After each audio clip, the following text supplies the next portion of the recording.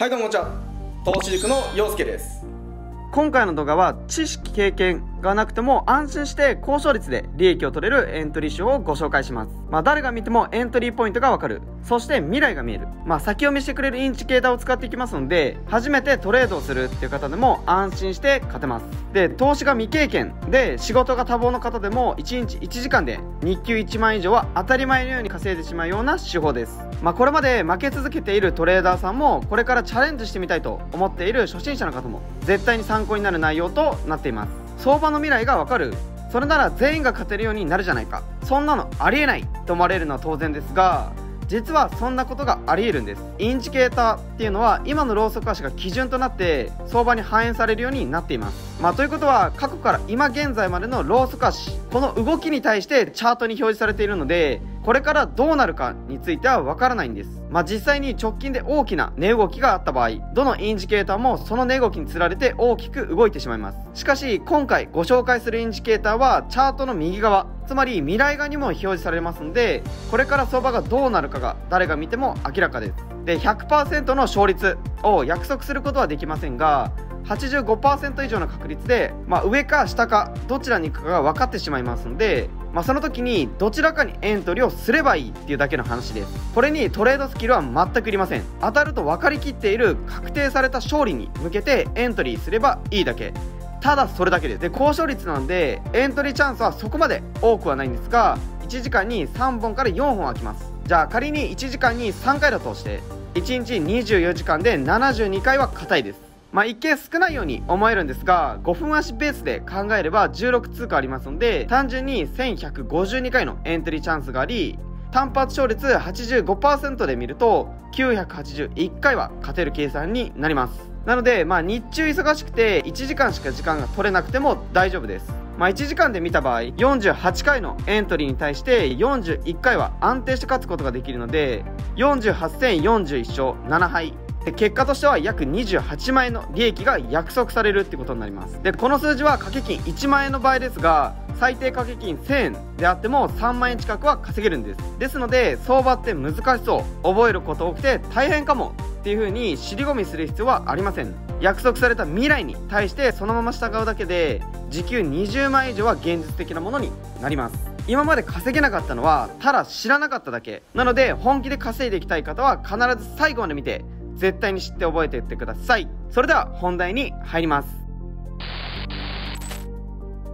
そしたらもう先にねエントリーポイントにチェックは入れています。でこの後の解説でわかると思うんですがかなり強いです。なのでこの機会にぜひご自身のトレードに活かしてもらえればと思います。それでは手法の解説の前にインジケーターの導入方法からお伝えしたいと思います。ではまずはじめに一目均衡表の雲を挿入していきます。まずこちらの挿入からインジケーターでこちらのトレンドの中にありますこちらですね。一目均衡表。こちらを選択してください。そうするとこのような設定画面が出てきます。まずこのパラメータのところで転換線を7基準線を22先行スパン B を44で設定してください。こちらはデフォルトじゃない数値となりますのでまあ、しっかりと間違えないように設定してください。で次にこちらの色の設定のところで、まあ、今回雲だけ使用していきますので、まあ、このように色を選択してください。でその他の転換線基準線遅行スパン。この3つは使いませんのでノーに変えておいてください、まあ、僕背景白なのでこれを白色で設定しても同じようなことになります。で以上で設定完了しましたので OK ボタンを押していきましょう。でこちらの今設定した一目均衡表っていうのは相場売り手と買い手のパワーバランスが崩れた方向へ動き方向性が確立した後相場の行方っていうのは一目瞭然であるっていう考え方に基づいています。まあ、つまり一度動き出して方向性が確認できればその流れは続くというわけです、まあ、雲の上でローソク足が推移している場合は上昇傾向と判断し下に位置している場合は下降傾向と判断します。それとこの雲が厚い場合は過去の相場のしこりの影響が強く相場転換には日柄を要します。まあ、逆に薄い場合は影響が少ないので抜けやすく転換しやすくなります。はい。では次にですねアリゲーターを挿入していきたいと思います。同じくこちらの挿入インチケーターでこちらのビル・ウィリアムスの中にありますこちらですねアリゲーター。こちらを選択してください。するとこのような設定画面が表示されます。でこのパラメータの中に入ってるこちらの設定数値とに関してはデフォルトで大丈夫です。なので上手期間が13ティース期間が8リップス期間が5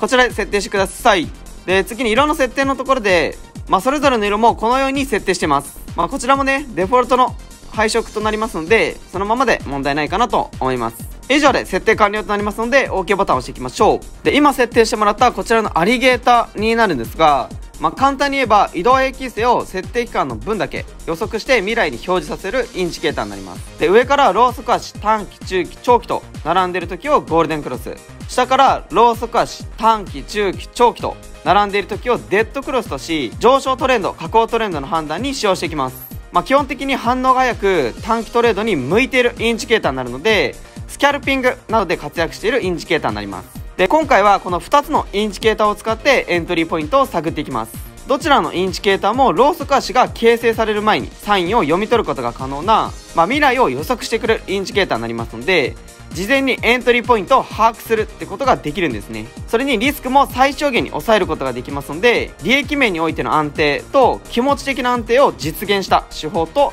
なっております。では早速今回の仕様のエントリー条件とエントリーポイントについて解説していきます。そしたらまずこちらからですね。まずはじめにローエントリーのポイントからです。このようにローソク足が雲上から下に突き抜けていることを確認します。まあここがねちょうど突き抜けているポイントになるんですが条件が揃ってるポイントはこちらなんですね。でまずアリゲーターが下から上に短期中期長期と並んでいることを確認してください。で今回はデフォルトの色で設定してますのでこのように短期が緑中期が赤長期が青このように並んでいる時ですね。で条件が揃ったところで次の足でローエントリーをかけていきます。そうするとこのように陰線が形成されていますのでしっかりと勝つことができています。まあ、こちらの雲とローソク足の位置関係としてはローソク足がこちらの雲に対して下を推移してれば OK なんですね。でこちらのアリゲーターがデッドクロスを起こしてる時です。まあ、見方としてはこちらのローソク足を基準に下からローソク足短期中期長期と並んでいること、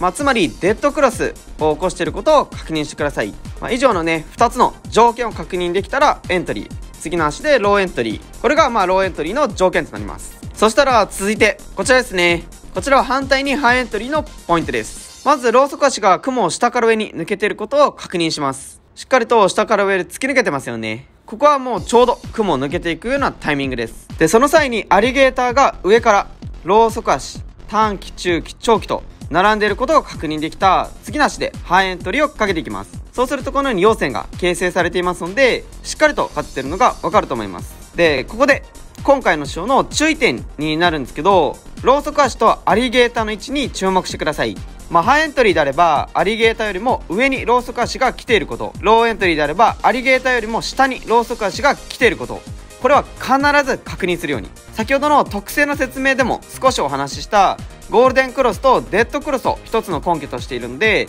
こちらの条件が成立していなければエントリーは控えてください、まあ、これは重なってしまっている場合もスルーです。これだけは意識しないと稼ぐこと自体ができないのでしっかりと注意して見てください。そうしましたらもう少し見て終わりにしましょうか。したら続いてはこちらですね。こちらローエントリーのポイントです。このようにローソク足こちらのローソク足が雲を上から下に突き抜けていることを確認します。まあ、ちょうど突き抜けているローソク足はこちらになるんですが条件を満たしているローソク足がこちらなんですね。でこのタイミングでアリゲーターを見ていただくとしっかりとデッドクロスしてます。下からローソク足短期中期長期と綺麗に並んでいることが確認できましたので次の足に対してローエントリーをかけていきます。そうするとこちら陰線ついてますのでしっかりと勝つことができています。したらじゃあこのポイントでラストにしましょうか。ではまず一目均衡表。こちらの雲に対してローソク足が下から上に抜けてることを確認してください。でさらにアリゲーターがゴールデンクロス起こしてることを確認すること。以上2つの条件を確認できましたら次の足に対して半エントリーをかけていきます。そうするとこのように陽線が形成されていますのでしっかりと勝つことができています。はい。ではここでこの書を使うにあたって僕のおすすめ通貨をご紹介していきます。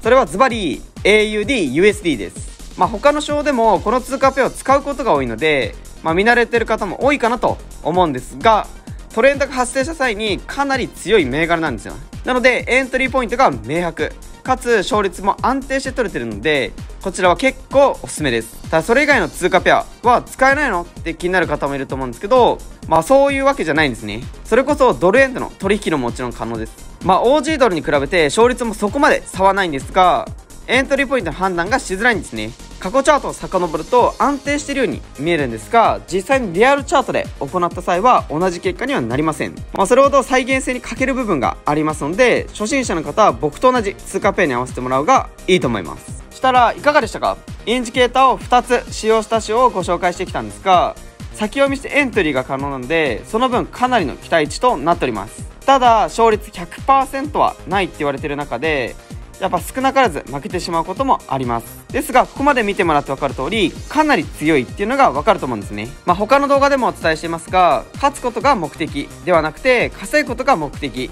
なのでもう一度目的を明確にし自身のトレードを確立していってください。そしたら今回の動画が参考になったっていう方はグッドボタンとチャンネル登録は必ず押しておいてください。次回以降も初心者でも勝てる簡単に稼げる書をどんどん紹介していきますので楽しみにお待ちいただければと思います。どうも投資塾の陽介でした。本日もご視聴の方ありがとうございます。